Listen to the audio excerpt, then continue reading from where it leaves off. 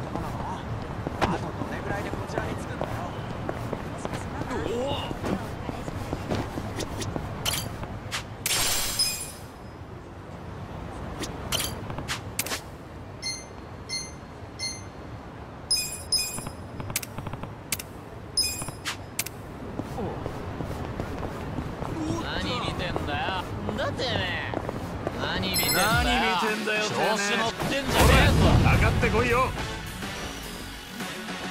私の番ですしてみろ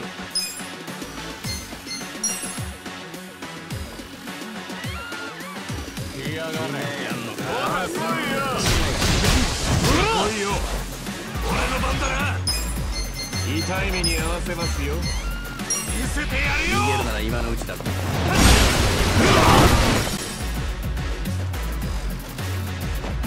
俺の番だ問題ないってこれでなめんな行くぞこれでやんのかおい来た痛い目に遭わせますよ。勝てると思ってるか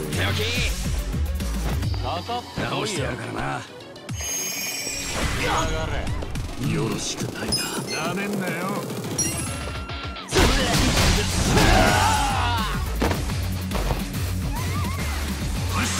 こいよ私が相手でさて来てみろ叩きのめす逃げるなら今のうちだ行くぞ。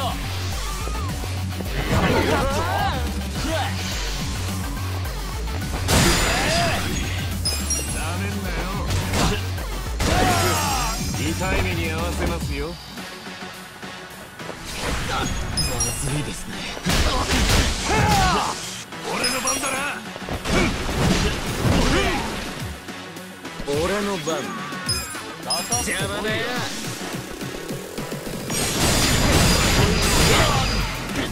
やんのか？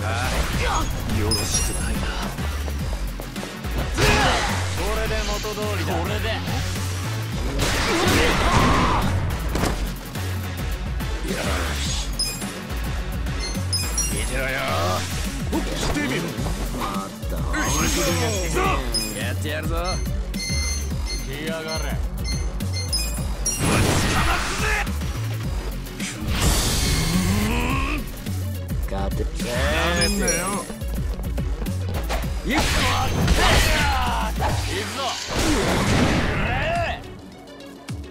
め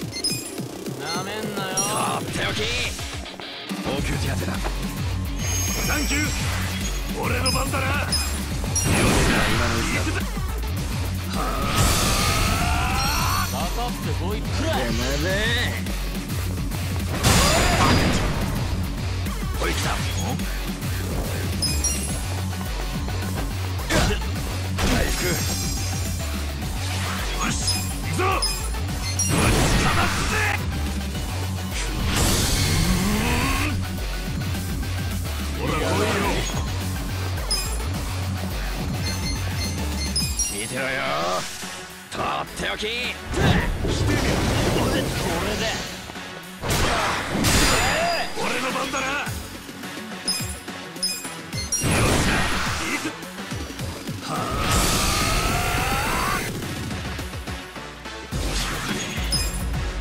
やるか見てろよよ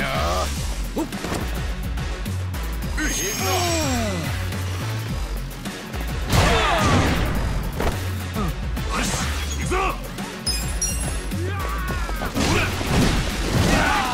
これで。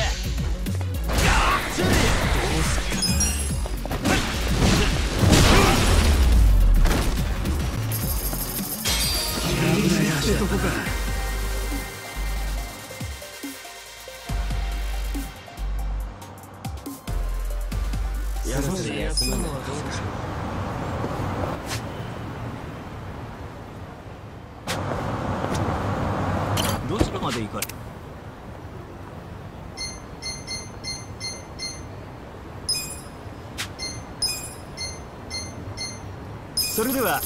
いたします。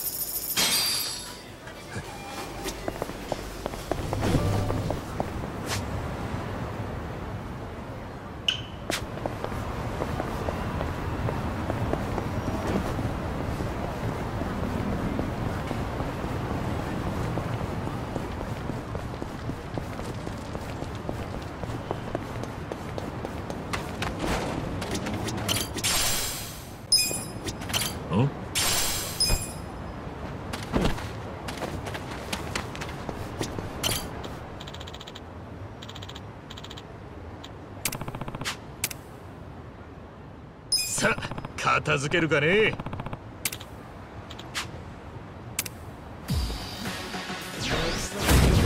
かってきたまえ。私の番ですね。なめんなよやるぞ。なめんなよ。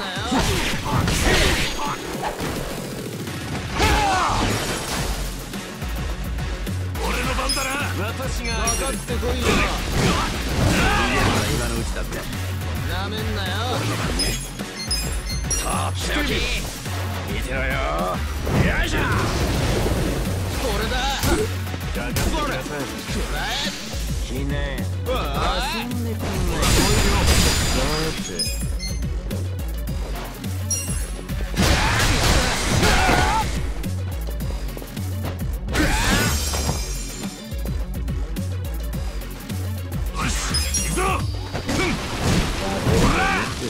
の番ね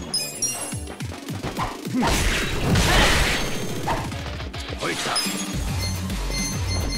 痛い目に合わせますよ。なめんなよ私の番ですやってやるぞや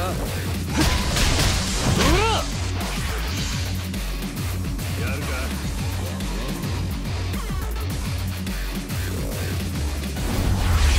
大丈夫ってか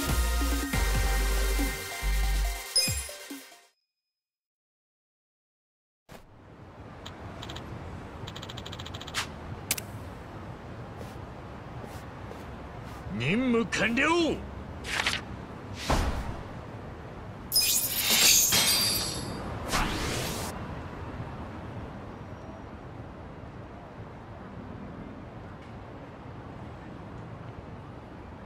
あいいな。なん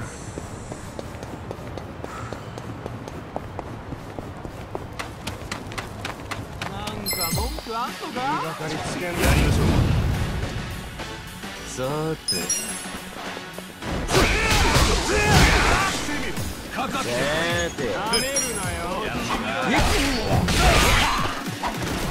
私が俺の番だな。とっておきだ。よ。本気でやって。来いよ。これで出ると思って来てみろ。目に合わせますほらほらてやるぞ。行くぞ。りませんよ私の番です。逃げるなら今のうちだぞかかってきなさい俺の番。おいほらよし行くぞ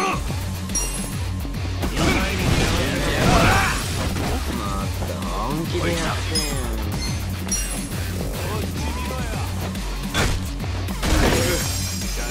さ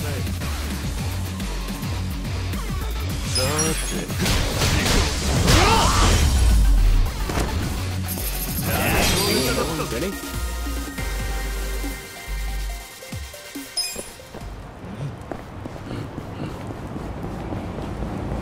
なんだ？何見てんだ？バカにしてんの覚悟しろよ私の番ですね。してみ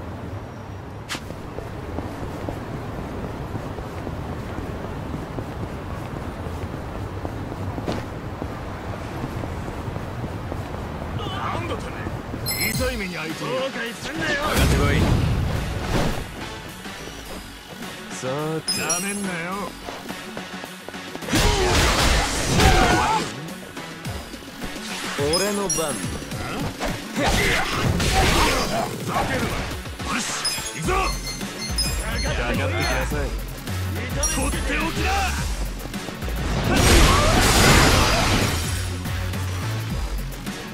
俺の番ね起きてみろ。よ見てろよ私が相手でとっておきよいしょほら来いよ痛いよ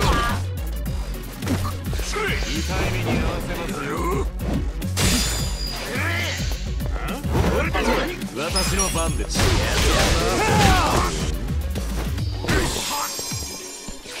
さて。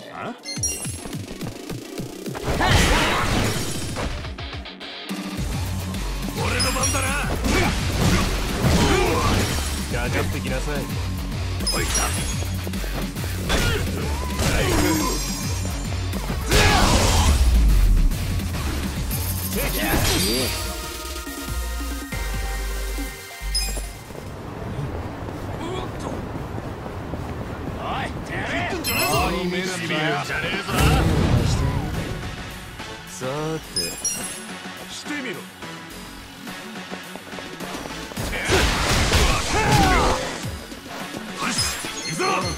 どうした見せて。やるよ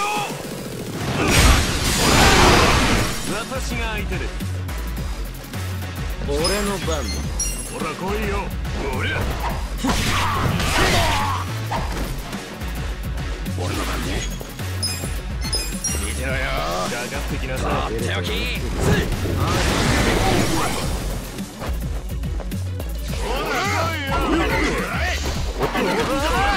いか私の番です来いよ俺の番だな。本気で。さー。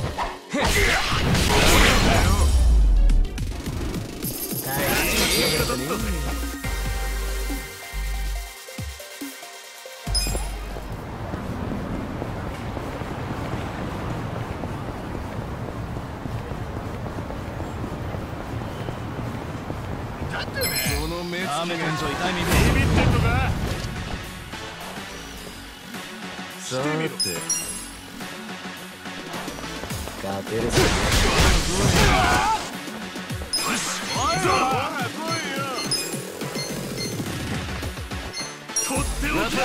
でするなら今のうち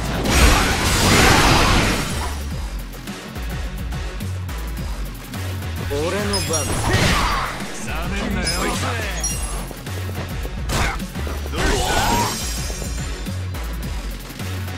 これで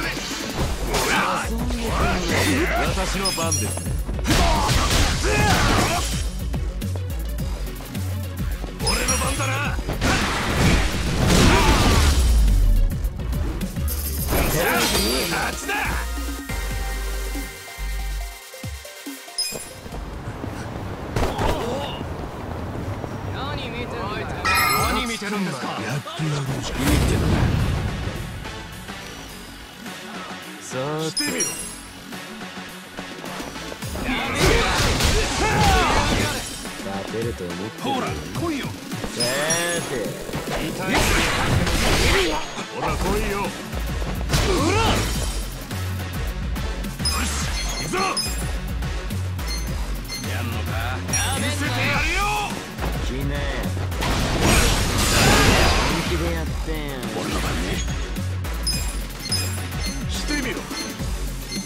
見てろよ。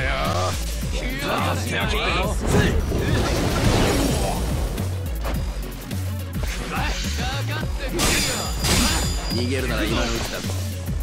ぞ来なよほら来いよ本気でやって私の番ですねなめん。なやってやるぞ。俺の番だ。してみろ。俺の番だな。遊んでくんないか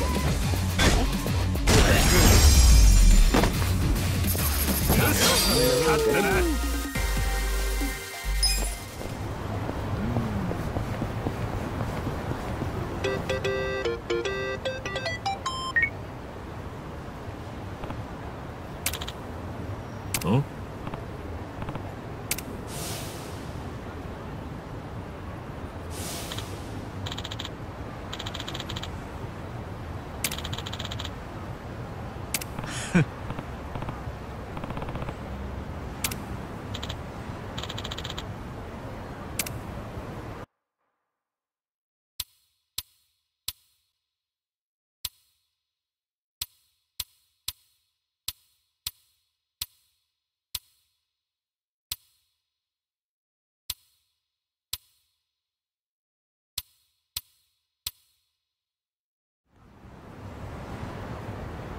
おい待てよ一番。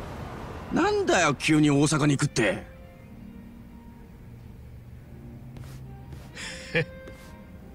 荒川のおやっさんには助けがいるんだこの俺の助けがな。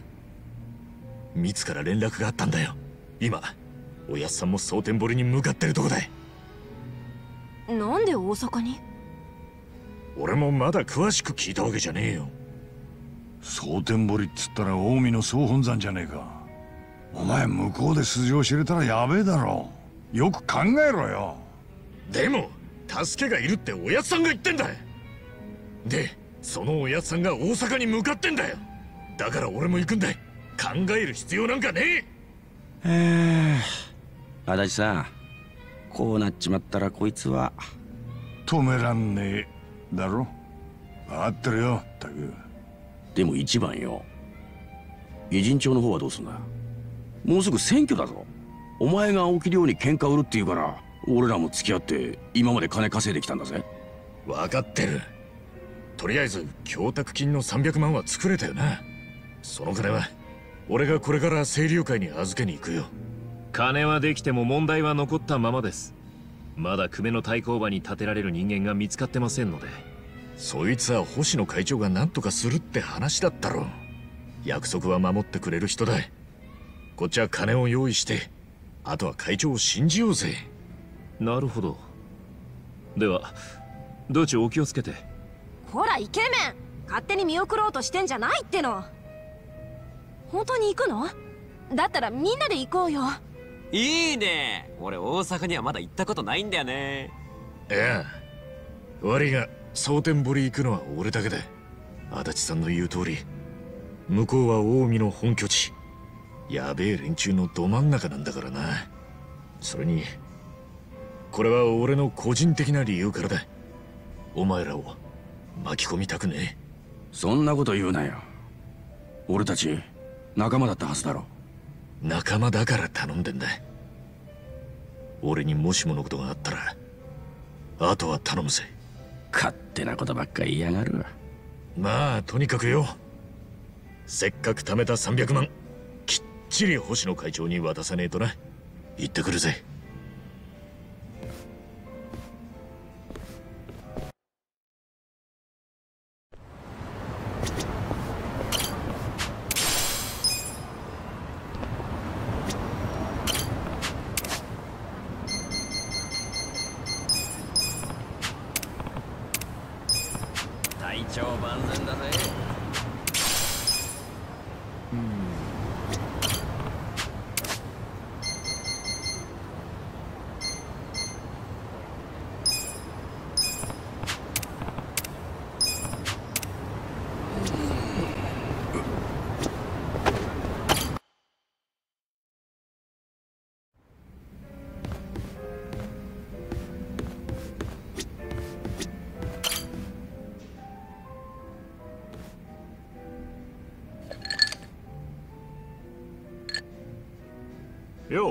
半順義ちょうどよかった春日さん。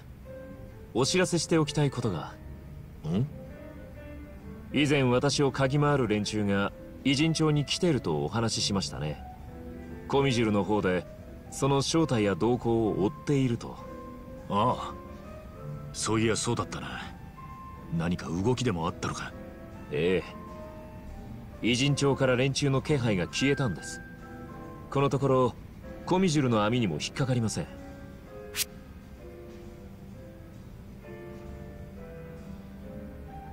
待て待て待て。まだ安心しちゃいけねえ。奴らが何者だったのか明確にしなきゃダメだ。春日さんの話はいつもちょとつ猛進なんですから。まあ嫌いじゃないですけどね。ね。私は一言も安心なんて言っておりませんよ不審者は町から出て行った可能性もあります。ですが私は彼らが標的のロックオンに入った可能性を推します。標的のロックオン？つまり敵はすでに私の所在を正確につかみ襲撃の機会を伺っているのではないかと。へえ。だとすれば相手はなかなかの手だれです。コミジュルの目をかいくぐって動けるほどのね。それってヤバいんじゃねえか？あんた。ええ。私のそばにいるあなた方もですがね。いつ巻き込まれてもおかしくありません。なるほどな。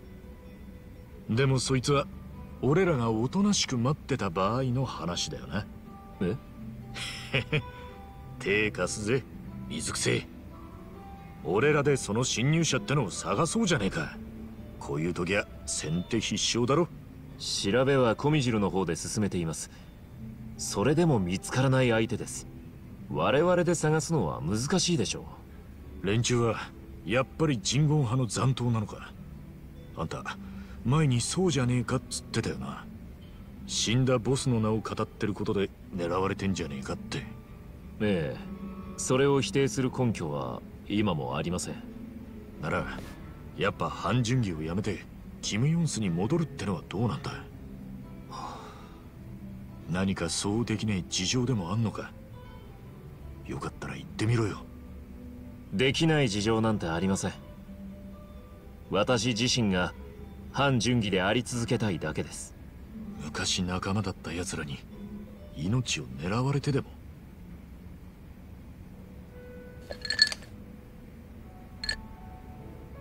私は人言派のいざこざに春日さんたちを巻き込みたくはありません。しかしご迷惑をかけますがそれはもう手遅れというものでしょう。ですから皆さんはいつ何者かに襲われてもおかしくないと油断せずにいてください。妙なことを言いやがる。え？偉人町や近江の奴らとも実績のある俺らだぜ。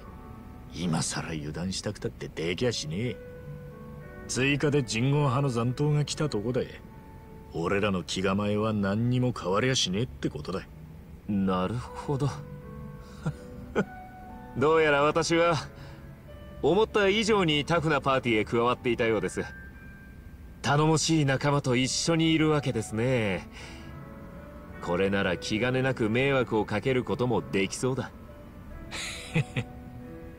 どうする？絆が深まったとこで乾杯するかい？いいえ。そこまで慣れ合いはしません。反順義のイメージじゃありませんからね。チェそんなにお高く止まってるとそのうち仲間外れにしちまうぞ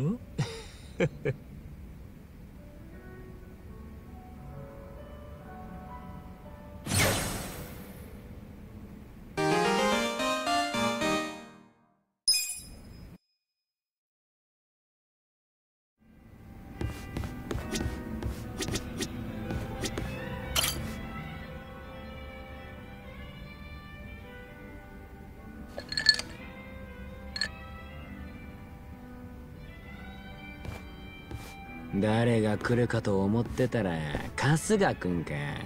忙しいんじゃないの？飲んでる場合だっけ？余計なお世話だぜ蝶いつ飲もうが俺の勝手だろ。だいたいこの店は俺が先に常連だったんだ。あれそういう風に来る？それ言ったら偉人帳じゃ春日くんの方がずっと新参じゃん。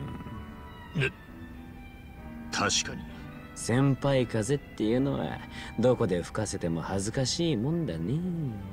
分かったよ。そっちの勝ちだ。ふん。じゃあまあとにかく座りなよ。しかしなんだな。こうして飲んでるとお前が組織のボスだったとは見えねえよな。そりゃそうだよ。一皮むけば誰だって同じ裸になっちゃえばそいつが権力者かどうか金持ちか貧乏かも分かりゃしないでしょ？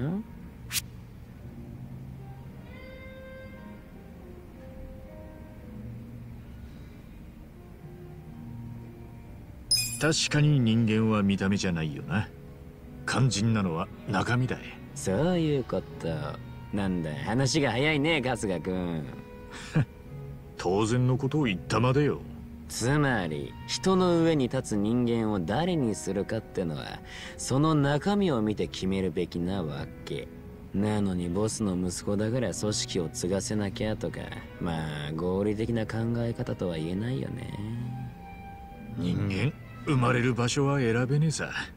けどどうしても嫌だっつって断る道はなかったのか。だいたい組織のボスなんて誰にでもできるもんじゃねえんだ。周りがお前をボスの器じゃないと見りゃ他の誰かが組織を継いだろうぜ。器かどうかは知らないけど俺は昔いい子でさ勉強もスポーツもやればすぐにできたわけ。ついでに言うと喧嘩も負けた記憶ないし悪知恵もそこらの悪よりずっと回ってたね。なんだよ。めちゃくちゃ才能があったんじゃねえか。ないのはやる気だけだったよ何してもそつなくできる器用貧乏の差がってわけ。嫌味な野郎だね。親父から代替わりするまでは中華街の方にも強敵がいて張り合いもあったんだけどさ。ところがそこのラウカーロンってボスが消えて結局偉人さんの三すくみだけが残った。中華街の組織っていうとジャカか？噂に聞いたことはあるぜヤバい連中だったって。日本からとっくに撤退してったよ。残党だってほとんど残ってない。そのジャカがいなくなった頃にお前はハンピン・リューマンの総帥になったと。そうだね。だいたい10年前かな。正直言って面倒なだけだったよ。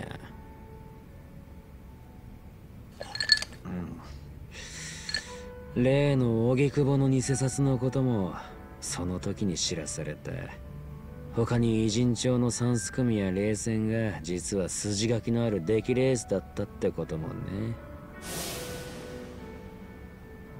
なああれか。その事情を知ってたのはリューマンの中じゃ親父とその同世代の古参幹部だけ。下の若いのは偉人帳を全部手にしたいって言うけど俺はそれを押さえつける側だよ。ふんそうなると総帥は弱腰だって言われるわけ。面白い仕事じゃないでしょ？そう思わない？だいぶ素の顔が見えてきたじゃねえか。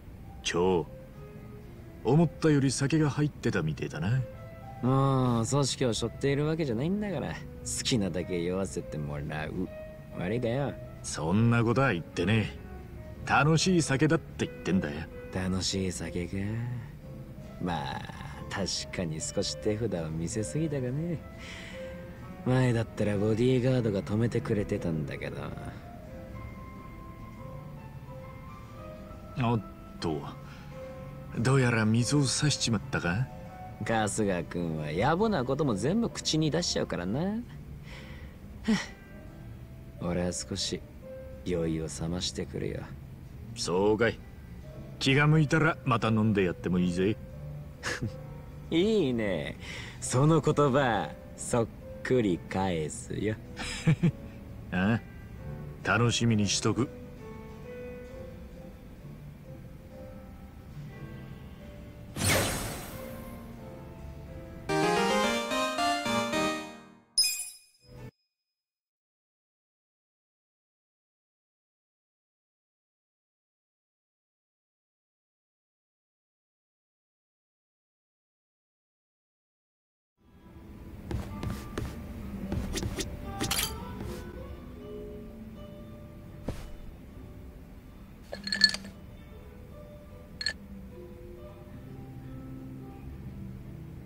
飲んでるか？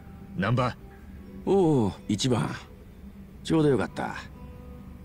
お前に話があるんだ。なんだよ。かしこまっちゃって。ちゃんと謝りたくてな。お前に嘘をついてたこと。偽札を追ってた件か？ああ。すまなかったな。いいってことよ。弟さんも無事に解放されたし終わりよければ全てよし。でただ少し気になるのはどこまでが本当の話かってことだ例えばお前が看護師だったってことは。そいつは正真正銘本当だ。じゃなきゃお前の傷の手当てなんかできやしないぜ。そうだよな。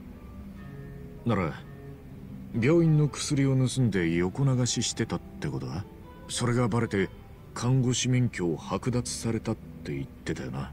それに関しちゃまあ本当でも嘘でもあるな。どういうことだ？この話をするのはお前が初めてだ。ちょいと長い話になるが構わねえか。ああ話してくれ。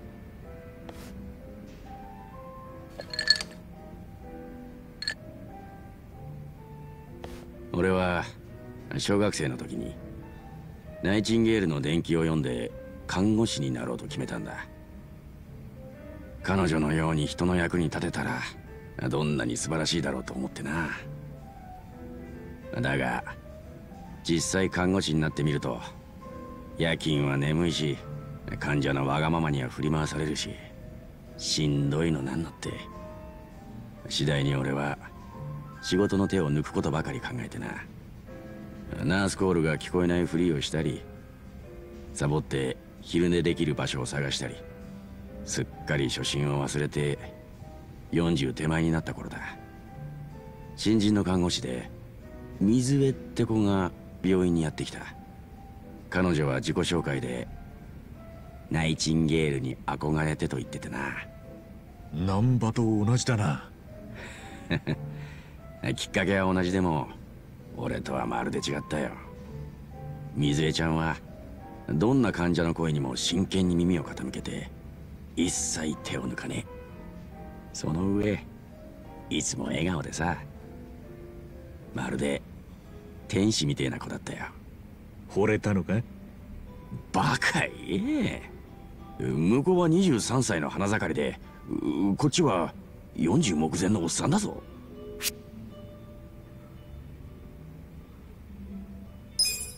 愛がありゃ年齢なんて関係ねえだろ年齢なんてのはただの数字なんだそれより大切なのはハート。心だろ？俺もそれくらい情熱的に生きてみてよ。難波だって看護師になった時は情熱を持ってたんだろ？それなんだよ。それ。水江ちゃんを見てると俺にも看護師を志した頃の熱い気持ちが蘇ってきてな。今一度真面目に仕事に向き合おうと思ったんだそいつはいい兆候じゃねえか。だけどこっちはもう中年だろ。体力がかなわねえ。ある晩夜勤に入ってると猛烈に眠たくなってな。こっそり仮眠を取ろうとして病院の裏庭で横になったんだ。すると背後で物音が聞こえた。振り返るとそこには倉庫があってな。病院で使う薬を保管している倉庫だ。そこから水江ちゃんが出てきたんだよ。薬の補充か？ナンバーはサボってんのに水江ちゃんは真面目だな。いや俺たちの病院じゃ薬の補充は薬剤師しかできない決まりになってるんだ。俺や水江ちゃんは看護師だ。倉庫に入ることはねだったらなんで水江ちゃんは倉庫から？あの頃病院内には妙な噂が流れていてな。妙な噂？倉庫に保管してる薬の数がリストと合わないんだ、まあ、そこで誰かが薬を盗んで闇で横流ししてるんじゃないのかってな。まさか。水江ちゃんが？ああ倉庫から出てきた水江ちゃんの手にはしっかりと薬の箱が握られていたんだ。なんで水江ちゃんが薬の横流しなんて？話には聞いていたが水江ちゃんの親御さんには借金があったらしくてな。彼女は給料のほとんどを渡して返済を手助けしてたんだ。だけど借金の額は一看護師の給料じゃ返しきれないほど莫大だったんだろうじゃあ彼女は返済を助けるために薬の横流しを？ああ。俺は水江ちゃんが薬を盗み出すところを目撃しちまったってわけさ。だが水江ちゃんの方は俺が見てたことに気づいていなかった。こんな時一番ならどうする？水江ちゃんを追いかけて捕まえるってのが正しいんだろうけど彼女は望んで犯罪に手を染めるような子じゃないんだろああ。親御さんのためにやむを得ずやっちまったに違いねえ。それに薬の横流しは犯罪には変わりねえが。誰かを痛めつけるような罪じゃないしよ。横流しが発覚して彼女が病院をクビになれば借金返済は一層遠のく。それを考えるとどうするべきなのか悩んじまうよな。お前も俺と同じタイプで嬉しいよ。結局俺はどうすることもできずに黙って彼女の後ろ姿を見送っちまったんだ。この世にたった一人だけ許される犯罪者がいるとすれば水江ちゃんに違いない。そう信じて何も見なかったことにしたんだ。その後水江ちゃんは？倉庫で水江ちゃんを見てから少し経った頃だ。院長が薬の一件に関して警察に盗難届を出すと言い出したんだ。それまで警察には届けてなかったのか？ああ。病院のメンツに関わることだからなるべく内々で解決したかったんだろう。だが一向に犯人が見つからないことにしびれを切らしてついに警察へってわけさ警察の捜査が入るとなると水江ちゃんは？犯人だとバレるのも時間の問題だ。逮捕されれば前科もつくし新聞に名前も出る。まだ若い彼女にとってそいつはあまりに酷だと思わねえか。それに比べて俺はどうだ。中年の独身男。どんなに心を入れ替えても今さらナイチンゲールのようにはなれねえ。こんな俺が残るより彼女が残った方が医療業界のためになる。そう思わねえか。もしかしてナンバーお前。ああ。俺が名乗り出たよ。薬を盗んで転売してたのは俺ですって言ってな。それで難波は看護師免許を剥奪。ああ当然病院もクビだ。そこまでして水江ちゃんのことを。その後彼女からは何かなかったのか？電話とか？手紙とか？特にねえよ。俺が住んでた独身寮もクビになった日に追い出されちまったしな。後悔はしてねえのか？それからほどなくして弟の失踪事件が起きたんだ。仮にクビになってなくても自分から辞めてたさ後悔なんてしてねえよ。強いて言えば水江ちゃんが海外に旅立つ際には見送りに行きたかったけどな。海外に旅立つ？うん。水江ちゃんは医療の発展しない途上国に渡って一人でも多くの命を救いたいって夢があったんだ。まさにナイチンゲールだな。うちの病院は海外派遣制度っていうのがあってな3年以上働いた看護師が利用できる。水江ちゃんは今年で3年目。きっと制度を利用して渡航するはずだ。それなら見送りぐらい行ったっていいじゃねえか。無理だよ。いつ経つのか。日にちもわからねえ。看護師時代の同僚に聞けば渡航の日にちを教えてくれるだろう。バカ言え。俺は薬の横流し犯のレッテルが貼られてんだぞ。今さら同僚に連絡できるかよちょっと二人さん深刻な顔しちゃって何の話してるのよ。のうさっちゃん。だいぶ飲んでるみてえだな。まあね。それより教えなさいよ。何の話してたのよ。難波のホームレス体験記ってのが壮絶でな。ホームレス体験記？